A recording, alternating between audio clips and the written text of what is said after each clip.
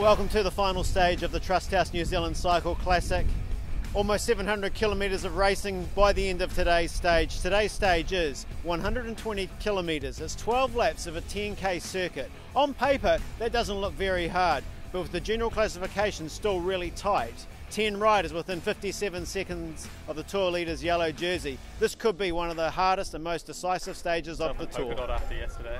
Yeah, um, I knew from the start of the stage you just had to get that that one polka dot um, points at the start, and then it was pretty much set up uh, for the tour. So made sure of that pretty early on, and then it kind of gave me the opportunity to just rest and kind of sit in, and uh, left me pretty uh, well for later in the stage when um, we hit the climb, so I could kind of lead our GC guys up the climb. So worked out pretty well. Good start to a big season for you. Yeah, first year U23, so first race here. So I mean, it's a it's a good good kind of start for the year. Leaves me in good motivation, I think. So yeah.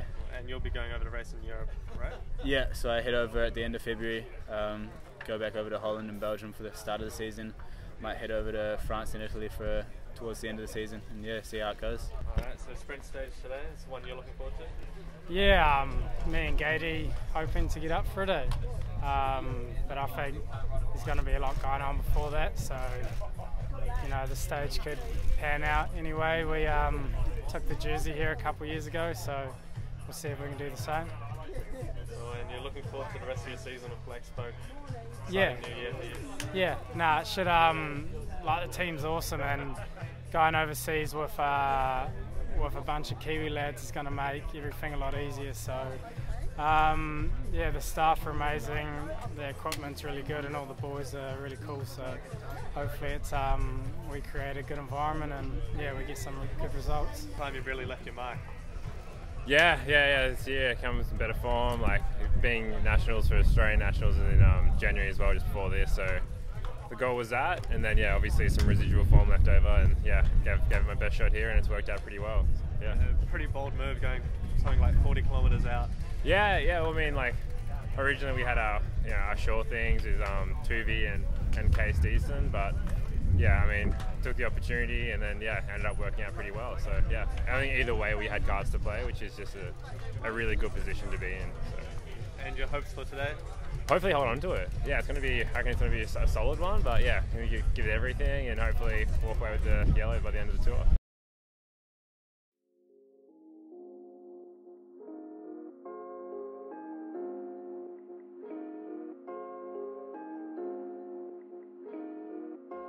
Three seconds, three, two, one, neutralize.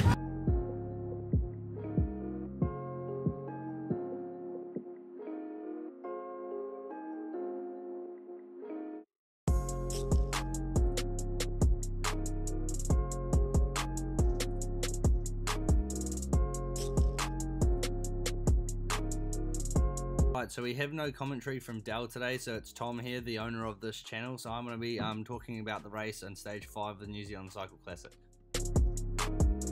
So early on to the stage, there was a break of about five riders. You can see Logan Griffin in there, and then the break only got out to about 30 seconds at this stage of the race. And then the peloton obviously chasing hard with a few of the sprinters just sitting back, just waiting for the end of the race.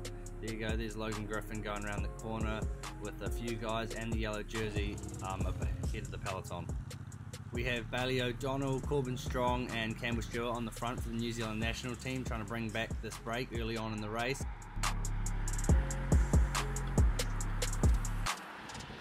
This is a 12 lap course of about 10 kilometres. There's a false flat circuit and they've just come around the chicane at the top. This is about a kilometre and then they head left down this and then back onto the home straight back into Masterton past um, Marta 10, which is the sponsor for today's stage.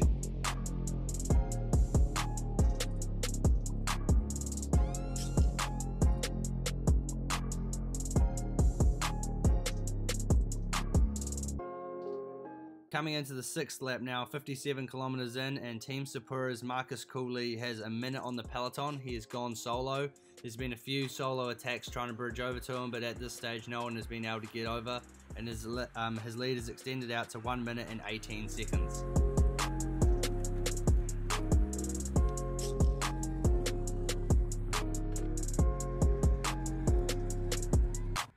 A select group has gone up the road, including tour leader and then previous tour leaders Aaron Gate and Hayden McCormick to try and chase him down.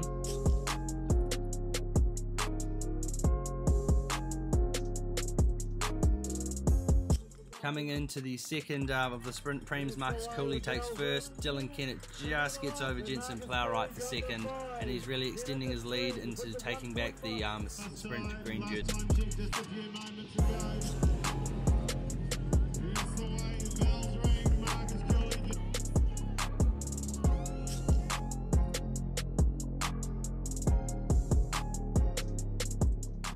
Now three laps to go, and Marcus Culey is still at the front, and James Oram has ridden over to him solo. He's been the only person that's been able to get over to him the entire race. The peloton is still chasing hard. The gap is less than a minute now, coming into the last two laps before the sprint finish.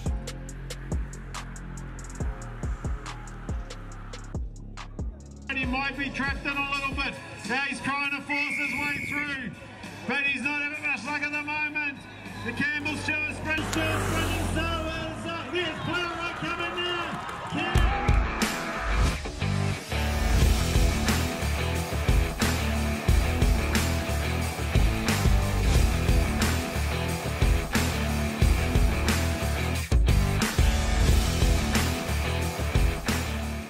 Uh, yeah, we did. It was um, a really well fought race. I mean, got to give it to Black Spoke. They tried everything, and I was just very, very, very lucky to have, um, yeah, boys from Bridge Lane just basically just lay themselves in line for me. It was, yeah, there were a couple of points there where we were under under a fair bit of stress, but yeah, we pulled Just through and got it done. to so, to yeah. your. And uh, two years ago, Hayden Collect McCormick took it on the last stage here. Was that. that weighing on your mind? I I didn't even know. Like, I'm relatively new to like, this kind of level of riding, so I was not sure of names. I was was aware of the numbers who were really good and who was up on GC and who to follow, but um, definitely have heard his name. He's a bit of a hitter, so yeah. I mean, it's just a pretty stressful day, but again, just I can't thank the boys enough. Like, they just yeah, really, really, really put themselves on the line, and I'm very, very grateful to have that. And what's the next event for you?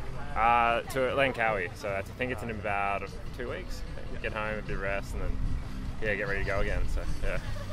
Under 23 jersey and a few strong finishes there. A good tour for you. Yeah, yeah, I'm really, really happy with how it's gone. The national team's just ridden, ridden out of their skin this week, and um, you know it's the first time for a lot of us riding together, and everyone was happy to chip in and do their part for the team. The team, and it's yeah, really, really fun week with the boys. Cool, and this is going to set you up for the rest of your year.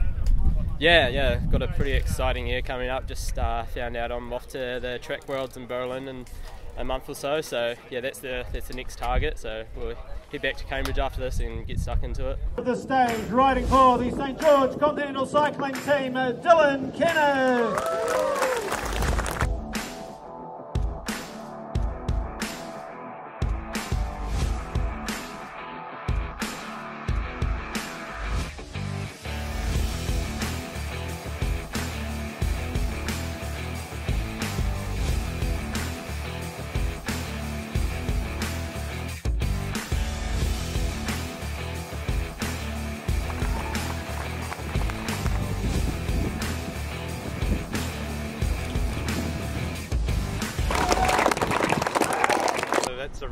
33rd New Zealand Cycle Classic. How does this one rank compared to the other ones? Well, I run this race uh, the best ever. Uh, it's been an amazing number of uh, international teams coming to Masterton uh, and Wairarapa. Uh, bringing the race back to Wairarapa, it's been the best thing that we could do. You know, uh, here, like I said before, I can trust people I work with, honest, decent people, and they know exactly what to do. Uh, my race officials, the motorcycle marshals, and I sponsors. So, really happy with the outcome. We got a good winner, and we got a large number of spectators, especially on the last day. And can you tell us how much work goes into creating an event like this? Well, we basically start working about a month after this race finish. Uh, we report uh, to the sponsor, making sure they are happy.